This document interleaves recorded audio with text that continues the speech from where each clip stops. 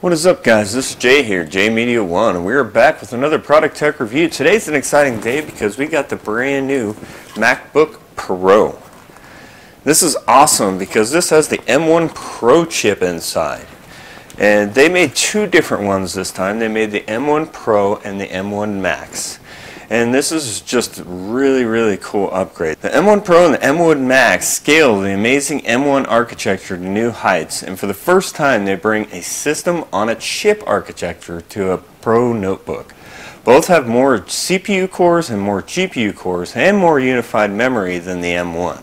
Along with a powerful neural engine for supercharged machine learning and upgraded media engines with ProRes support, the M1 Pro and the M1 Max allow pros to do things like they never could before. And today we're just going to do an unboxing. This time we got the box as it comes.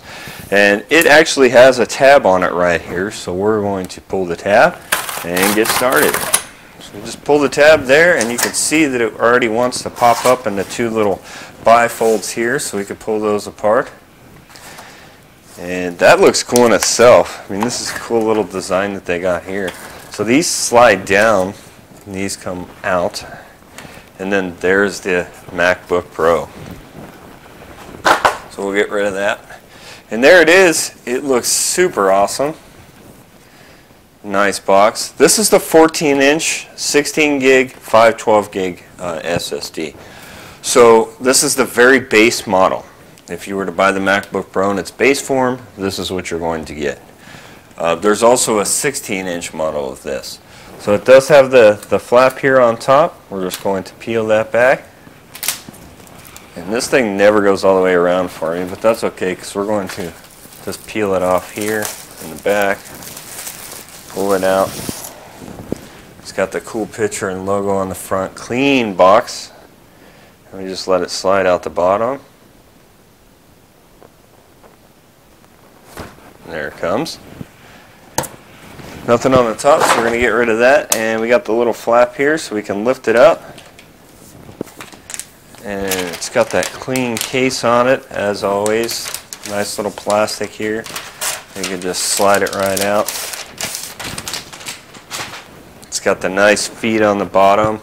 And this time it's got like a little like indention engraving where it says MacBook Pro at the bottom, which is super nice looking.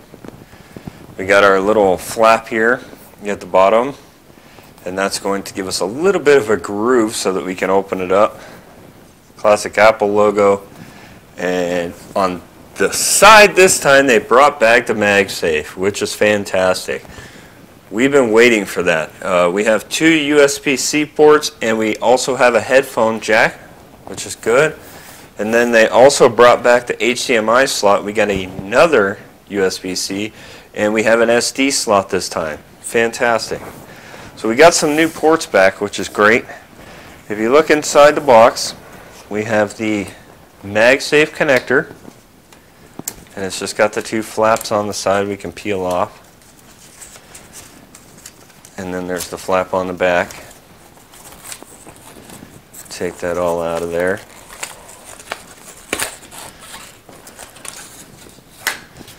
And the MagSafe connector is cool. It, it has a nice little braided cord here. Of course, the USB-C on one side, but this is the key here. This is the MagSafe. And it's just a tiny little guy.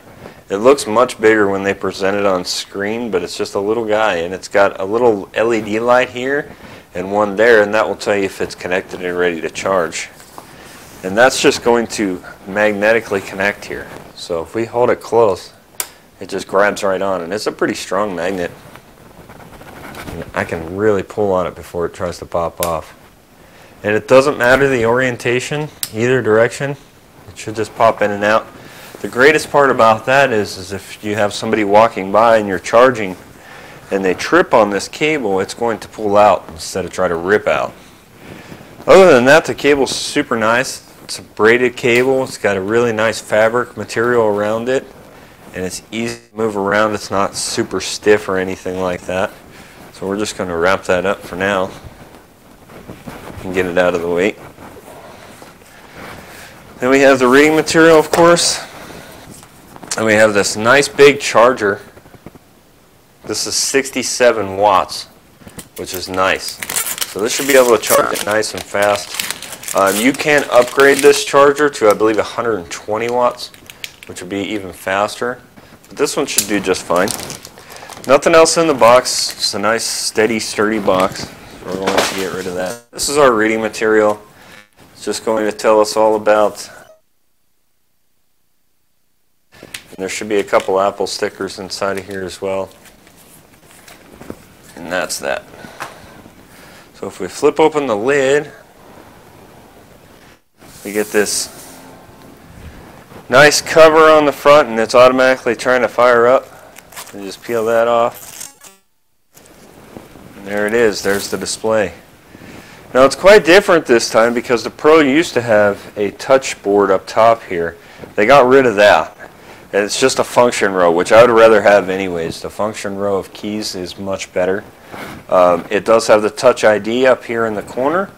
And then we have our up, down, left, and right arrows down here. And this is the Magic Keyboard. It's all black. It looks really nice. Of course, Apple always does a really good job with their touch pads or their track pads.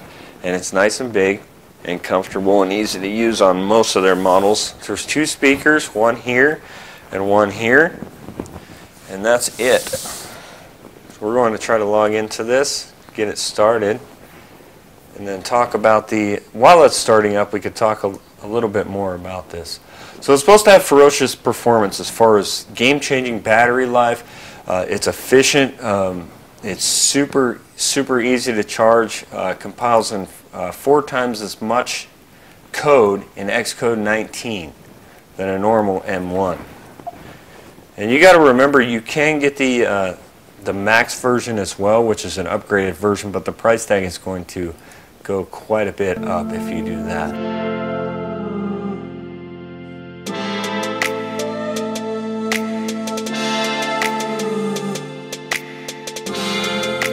The MacBook Pro delivers the same amazing performance whether it's plugged in or not because of the extended battery life.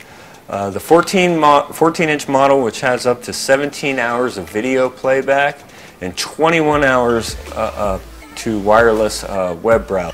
The coolest part is the advanced thermal system. It's 50% more air, moves 50% more air even at lower fan speeds. And thanks to the efficiency of the Apple Silicone, the fans never turn on for many tasks you do every day. It's fast and vast. It gets jaw-dropping 7.4 gigabit read speeds from the up to 8 terabyte SSD, up to five times faster than the previous generation, so you can open up 8K videos instantly or store hundreds of thousands of raw photos all at one time. It has a liquid Retina XDR. It's the best display ever featured in a notebook. It features extreme dynamic range, and a million to one contrast ratio. The HDR content comes to life in photos, videos, and games with refined, spectacular highlights, incredible detail and shadows, and vibrant, true-to-life colors. Each display is factory calibrated and it features pro reference modes for HDR color grading, photography, design, and print production. It's got ProMotion. ProMotion comes to the Mac for the first time, making everything from scrolling a web page to gaming super fluid and responsive, while also producing power consumption with up to refresh rates of 120 hertz. Uh, that's adaptive technology. It automatically adjusts to match the movement of the content. It's got the ProMotion video, which editors can use a fixed refresh rate that precisely aligns with their footage. Display enclosure is less than 4 millimeters thin. It provides a structure for the world's best notebook display. It has a thousand nits of sustained brightness, 1600 nits of peak brightness, and 10,000 mini LEDs, which gives it a million to one contrast ratio. Fantastic. Staying connected is more important than ever. That's why the new MacBook Pro camera has double that the resolution 1080p and uses a lens with a wider aperture that lets in more light. Together with a larger image sensor that has more efficient pixels, the camera delivers better low light performance. And that's this little guy right here. We do have a little notch inside of the camera now, which is kind of a little weird, but here's how I look at this. So in a normal display, right, you would have to have a bezel and the bezel would go around here and that would give you your camera. So instead of that bezel being that thick, the size of this notch, the notch is that thick, allowing the camera to fit. And then they give you a smaller bezel around the outside. So it's a really good idea, and it works well. Even with the bezel there, it's fine. Uh, there's the three studio quality mics. Uh, thanks to the mics with up to 60% lower noise floor, the MacBook Pro can capture even the subtlest sounds, and the 3 mic array uses directional beamforming so that your voice always comes through loud and clear. It has a 6 speaker sound system, 4 force canceling woofers revealing notes up to half an octave deeper with the fill the room with up to 80% more bass. The MacBook Pro offers spatial audio when playing music or video with Dolby Atmos, creating a sophisticated three-dimensional soundstage. Combine that with the Liquid Retina XDR display and it's like having a portable theater inside of the room. More plugged in than ever, you can transfer photos and videos with an SDXC card reader, which is just a high-speed card reader this time.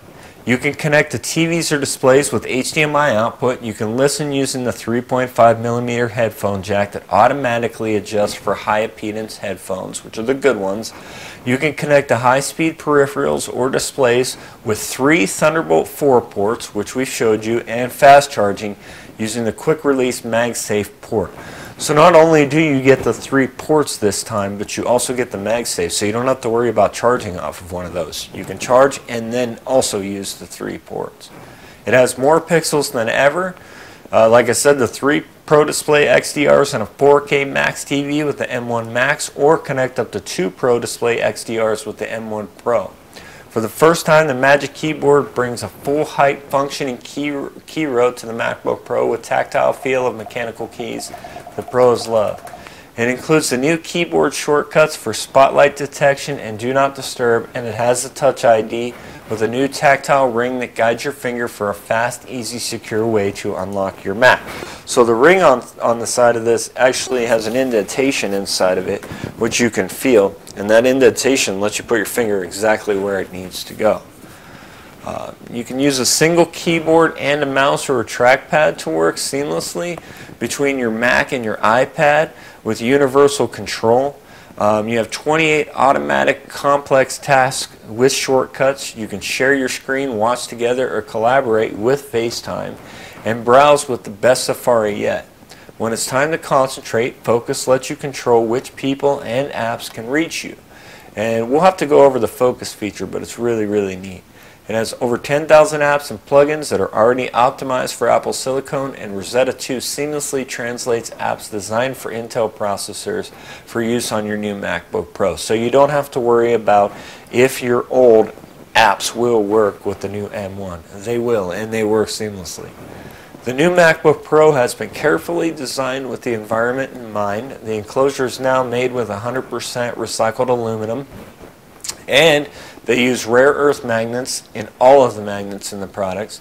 The MacBook Pro is free of numerous harmful substances and virgin wood fiber, and their packaging comes from responsible managed forest. Uh, the cool part about this enclosure is, is it's not plastic, right? So if you look at this and we try to bend it or move it, it's not going to flex.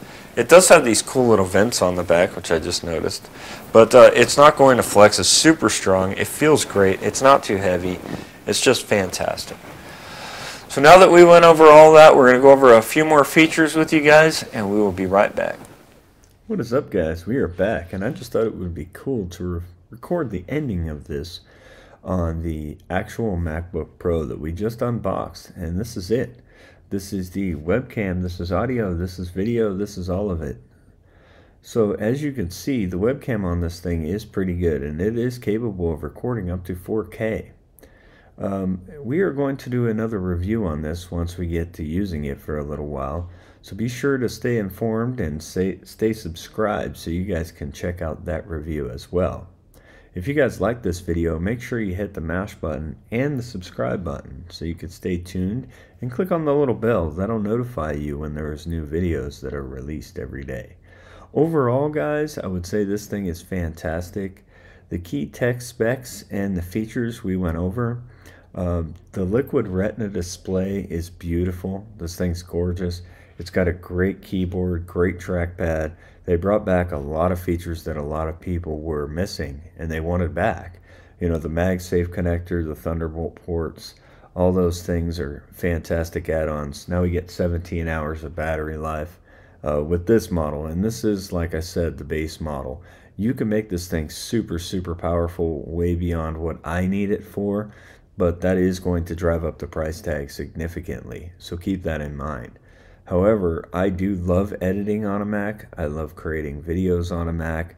Um, everything is just seamless. And if you use multiple devices like I do with the phone and the watch and the iPads and everything else that Apple has out there, it's really well integrated. It works great together, and the ecosystem is wonderful. So stay tuned for the next one. We're going to do another video based off of just using the MacBook Pro for a while. And we will be back with that, guys. So stay tuned. Like I said, hit the subscribe button. Later, guys.